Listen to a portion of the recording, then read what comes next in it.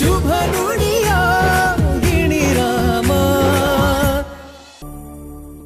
ಆದ್ರ ನನ್ನ ಮಾತ್ರ ಹೋಗ್ಬೇಡ ಅಂತ ಹೇಳಕ್ ಹೋಗ್ಬೇಡ.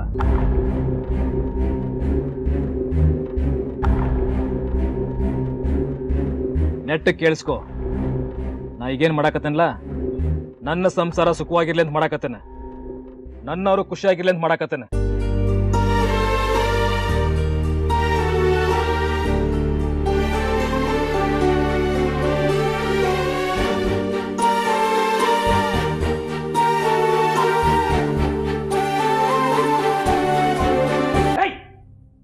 ನೀವಿನ್ನೂ ಇಲ್ಲೇ ಇದ್ದೀರಾ? ಮನೆಗೆ ಹೋಗಿಲ್ಲ?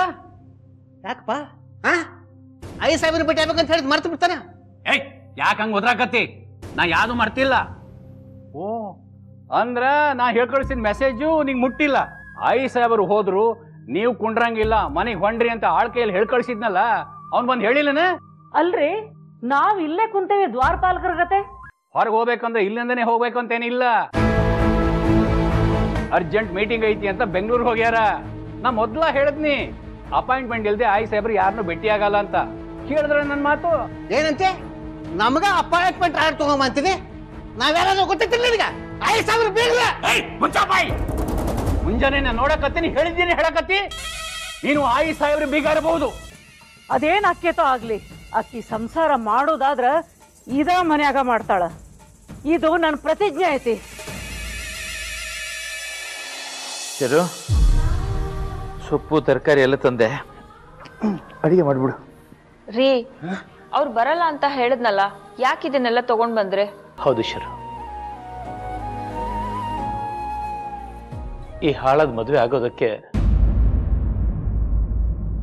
ನಾನೇ ಕಾರಣ.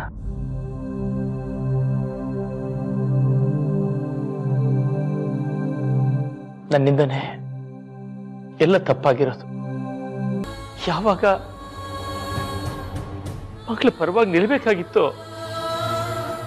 ಅವಾಗ ಹೆದರಿ ಕೈ ಕೂತ್ಬಿಟ್ಟೆ.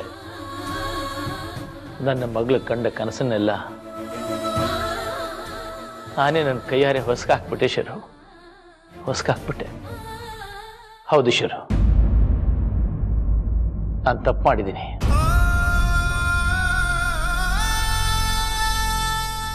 ಆ ತಪ್ಪುಗಳನ್ನ ಸರಿ ಮಾಡ್ಕೊಳ್ಳೋದಕ್ಕೆ ಜೀವನ ನನಗೊಂದು ಅವಕಾಶ ಕೊಟ್ಟಿದೆ. ಮದುವೆ ಆಗೋದಂತೂ ಆಗೋಗಿದೆ. ಅದನ್ನ ಅಲ್ಲಿಗೆ ಎಳೆಯೋಕ್ಕಾಗಲ್ಲ